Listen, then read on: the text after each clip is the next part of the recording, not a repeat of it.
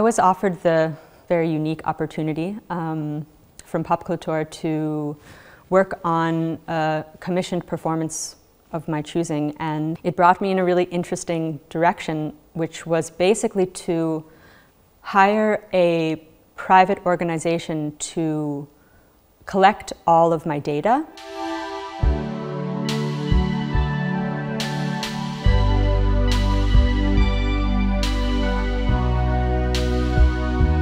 I have an interesting relationship with technology. I grew up watching a lot of television alone in my bedroom. And I think my whole subconscious mind, my memories, my dreams are really interwoven with my experiences of watching television. And I think um, having received so much of that input at a young age definitely created an intimate relationship for me in my mind, I think, with what is on a screen. And I identified really strongly with a lot of that information, um, melodies even of advertisements that I still have in my head all the time. Hello? Where am I? Where you are depends on how I observe you, and how I observe you depends on who you think I am. Wait a minute. What was the end of that dream I had? You interrupted my dream because there was news of a difference, but what was the end of my dream? Otto, play the rest of my dream. When the internet sort of appeared and came into my life, um, by extension also had a computer in my bedroom from probably a pretty young age and um, continued to have a real fascination with that space. And to me it has a lot in common with the world of dreams. Um, what that space is, it's not really physical.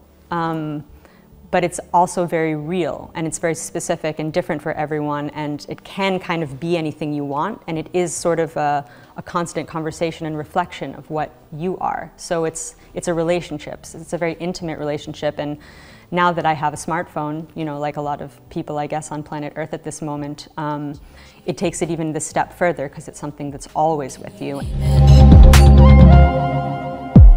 Does it chase you?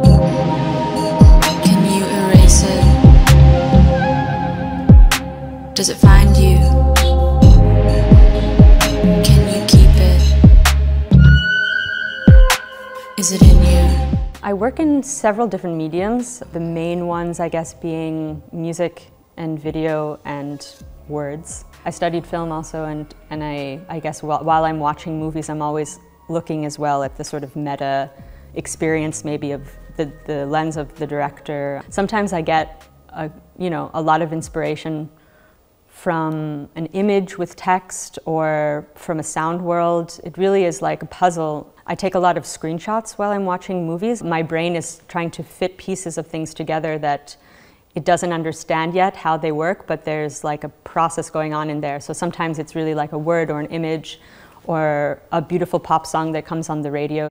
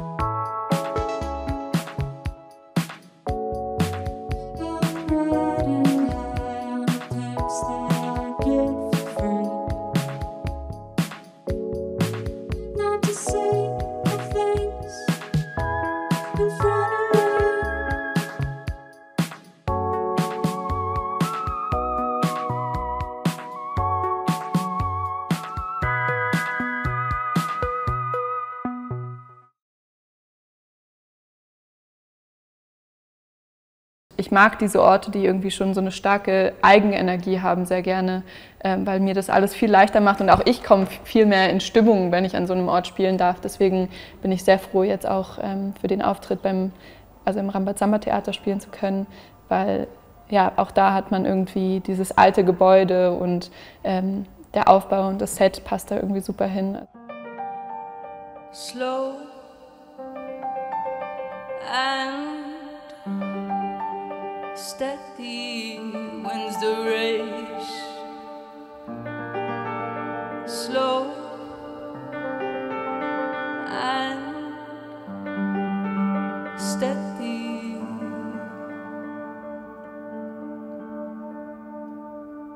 Ich habe auf jeden Fall Momente auf der Bühne, wo ich irgendwie das Gefühl habe, okay, jetzt ist es sehr real und sehr privat. Das sind für mich nicht unangenehme Momente, sondern das sind irgendwie die schönsten Momente, weil da habe ich dann das Gefühl, ich habe wirklich was von mir preisgegeben.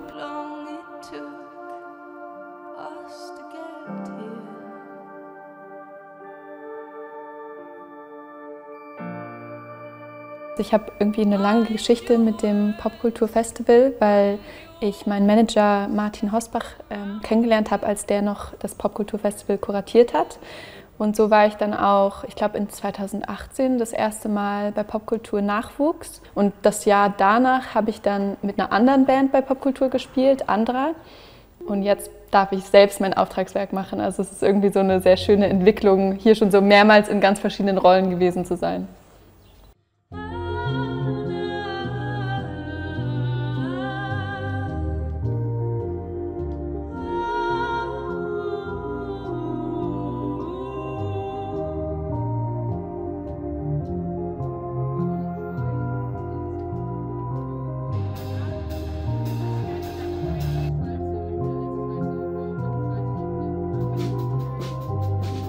Ich werde für das Commissioned Work mit äh, Simon Goff, meinem Produzenten für das nächste Album, zusammenspielen und auch Tobias Humble, der auch auf der nächsten Platte Drums gespielt hat. Worauf ich mich da sehr freue, ist, dass die beiden kennen das Material einfach in- und auswendig, weil die praktisch bei der Erstellung dabei waren und dass ich mir da irgendwie gar keinen Stress machen muss, das jetzt irgendwie zu erklären oder zu hoffen, dass die das verstehen und auch, dass ich halt weiß, dass es beides super Musiker sind. Jetzt auch die zwei Backing-Sängerinnen, das ist einfach immer so eine Freude. Also ich glaube, jede Sängerin, jeder Sänger kann das bezeugen, dass gemeinsam singen, das multipliziert halt einfach die Energie im Raum einfach immer so sehr. Da freue ich mich echt super doll, dass ich da irgendwie noch ähm, Backing-Sängerinnen dazu bekomme. Für mich ist der große Unterschied wirklich, dass Popkultur Auftragswerke hat und auch diese Talks, also dass es so ein einheitliches Programm irgendwie gibt und nicht nur in Anführungsstrichen einfach ganz viele Bands, die durchspielen und dass auch gerade bei diesen Auftragswerken so viel auf Details geachtet wird und so viel Liebe und Arbeit reingesteckt wird, dass es wirklich, also dass es sich anfühlt wie eine komplette Produktion und nicht einfach irgendwas, was auf 100 Festivals ähm, einmal gespielt wird. Und ja, deswegen, also das finde ich echt, das ist das Besondere bei Popkultur. Und dass es so einen hohen Wert auf Inklusivität ähm, setzt, das finde ich, merkt man auch sehr viel in der Stimmung. Oh, futures rotting, feed me flowers, a company,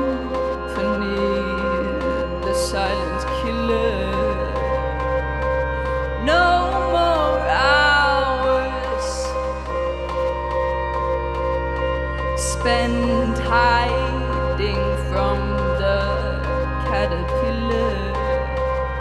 Cause my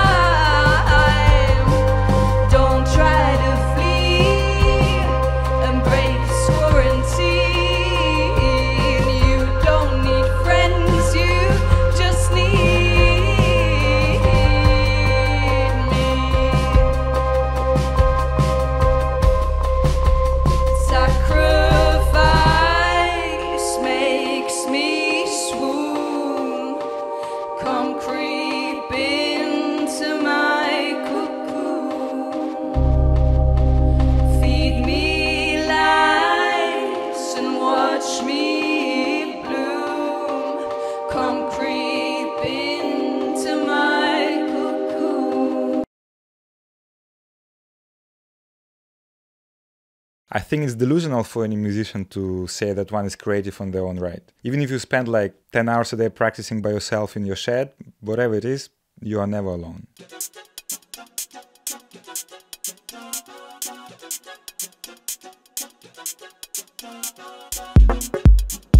Grounded Outer Space People is a family constellation, you know, and it's very beautiful to understand that music is actually not about completion of anything, but about living as every transient moment. And once music is experienced as a transient moment, I think that the whole feeling of how precious this moment is starts arising and actually starts giving a lot of energy into the process of channeling music or running any kind of musical composition.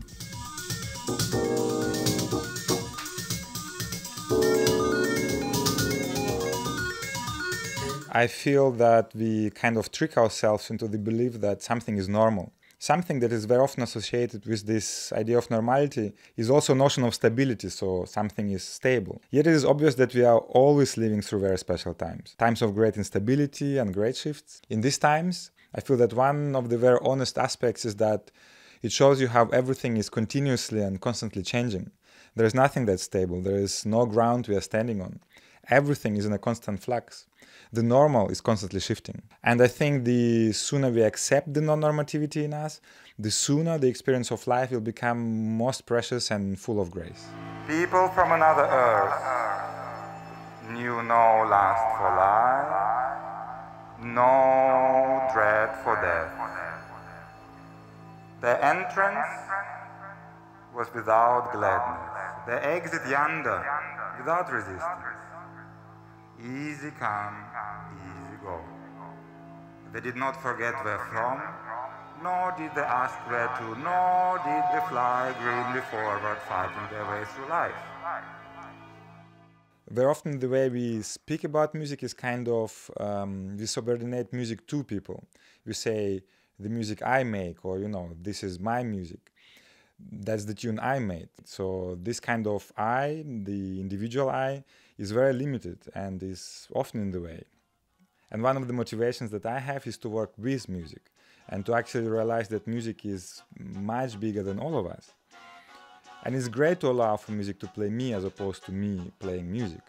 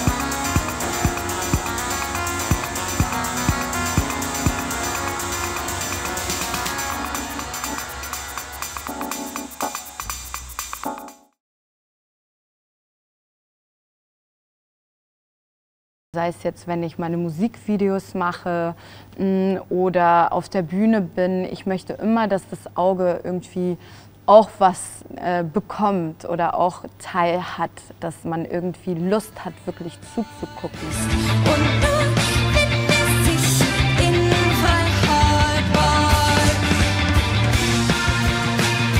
Also ich höre auf jeden Fall auch New Wave. New Wave ist ein äh, großer Bestandteil von der Musik, die ich mag. Die erste Platte hat halt viele Einflüsse davon.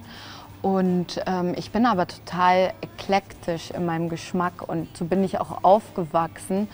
Und deswegen finde ich es auch spannend, wenn man eben so aus verschiedenen Genres Sachen zusammenbringt. Also was ich besonders finde am Popkulturfestival ist, dass man innerhalb dieser Commissioned Work Sektion als Künstler die Gelegenheit hat, an einer richtigen Show zu arbeiten, zusammen mit einem Team. Das heißt, es kommen dann so verschiedene Ebenen in die Show äh, zusammen. Also sei es jetzt Bühnenbild, äh, wir haben eine super Lichtshow. Ich habe ähm, zusammen mit einem anderen Team Videos vorproduziert und das wird halt alles an diesem Abend ermöglicht, auch durch den Raum, den man äh, gestellt bekommt. Und das finde ich ist doch was Besonderes. Also mein Special Guest ist äh, Tobias Bamboschke von Isolation Berlin. Lying on your suitcase, I'd like to call you, hear your voice, just to come down, just to come down, just to come down. Wir haben uns letztes Jahr erst persönlich kennengelernt. Ich hatte eine Show gesehen, im Astra war das und es war total super voll die krasse Energie bei der Show. Auf Instagram haben wir uns dann geschrieben und ich glaube, entweder der eine oder der andere schrieb, willst du mit mir spazieren gehen? und dann haben wir eben das auch getan. Und dann haben wir uns kennengelernt und wir haben äh, auch schon zusammen gesungen und er hat so eine schöne Stimme. Ich finde auch, dass unsere Stimmen gut zusammenpassen und deswegen freue ich mich jetzt, wenn die Proben anfangen, das halt ganz konkret an einem neuen Song halt auszuprobieren.